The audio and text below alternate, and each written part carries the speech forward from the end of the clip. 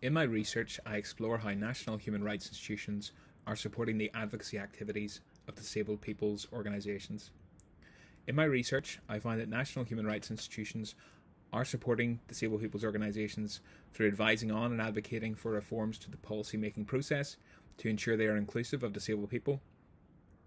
Also, through advising on reforms to, to data collection processes to ensure they are capturing the lived experiences of disabled people through their own monitoring activities, NHRIs are often providing DPOs with a platform to highlight human rights abuses, in particular through their investigations and inquiry processes.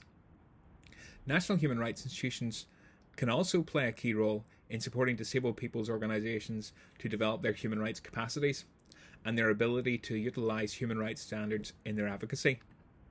Whilst national human rights institutions do not generally provide formal training programs for DPOs, they can provide informal learning opportunities.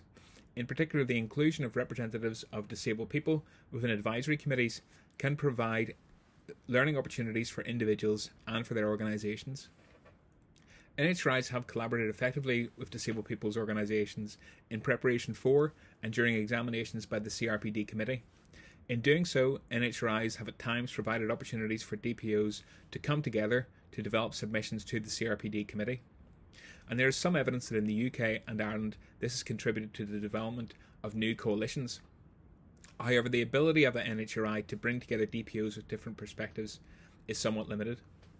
Overall, I find that national human rights institutions need to reflect further on how, how they can integrate the principle of nothing about us without us throughout their work.